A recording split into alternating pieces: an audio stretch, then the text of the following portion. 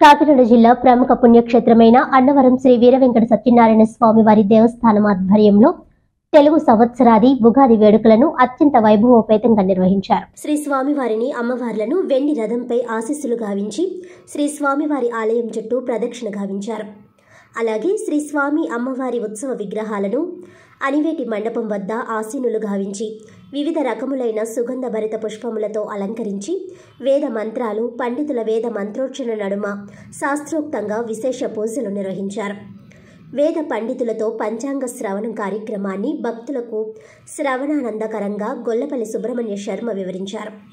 ఈ కార్యక్రమంలో ఆలయ అనువంశిక ధర్మకర్త I V Rohit AC Ramesh Babu ఆలయ ప్రధాన అర్చకులు కోట శ్రీనివాస్ అర్చకులు దత్తు శర్మ పాలంకి పట్టావి పిఆర్ఓ దామరకృష్ణారావు ఏఈఓలు ఎల్ శ్రీనివాస్ బ్రహ్మరాంబ పాలంకి జగ్గారావు పర్యవేక్షణ అధికారులు రమణ కృష్ణప్రసాద్ టెంపుల్ ఇన్స్పెక్టర్ పసుపులేటి రమేష్ పలువురు ప్రముఖులైన ఎమ్మెల్సీ తోట త్రిమూర్తులు ఉగాది సందర్భంగా అన్నవరం విచ్చేసి శ్రీ స్వామి అమ్మవార్లను దర్శించుకున్నారు.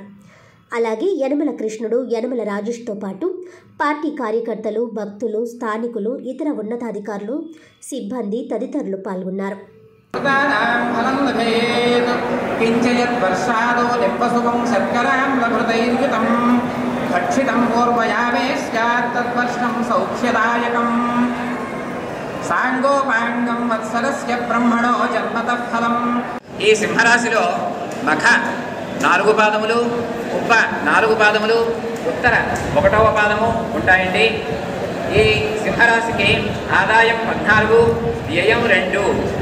రాజపూజ్యం ఒకటి అవమానం ఏడు.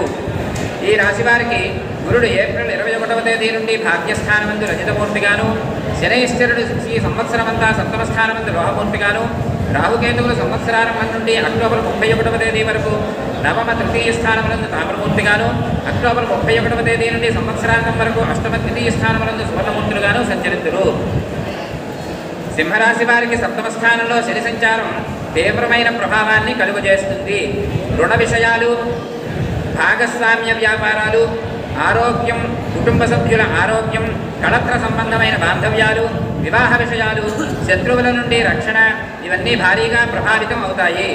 చట్టపరమైన మార్గదర్శకాలను గౌరవించి పాటించడం వలన ఇబ్బందుల నుండి బయటపడగలుగుతారు. మీకు రావలసిన ధర్మం చేతికి రావడానికి ఆలస్యం. వ్యాపార వాటాలలో తరుగుదల సహచరులతో